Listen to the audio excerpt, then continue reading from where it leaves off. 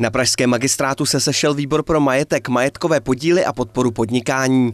Na programu zasedání bylo pět bodů. Jeden z nejhlavnějších se týkal pozemku poblíž letiště Václava Havla. Jedná se o pozemky, které jsou jižně od nákupního centra Šestka a na těchto pozemcích existují záměry pro velké P plus R parkoviště, stejně tak by tam měla být smyčka tramvaje, případně přestupní koridor pro, pro vlaky na trase Praha letiště Kladno. Možnost vybudovat na těchto pozemcích P plus R parkoviště je poměrně reálná. Je to zatím v rámci vize, bude to dlouho trvat, ale uh, víme o tom, že tyto pozemky jsou pro město do budoucna důležité.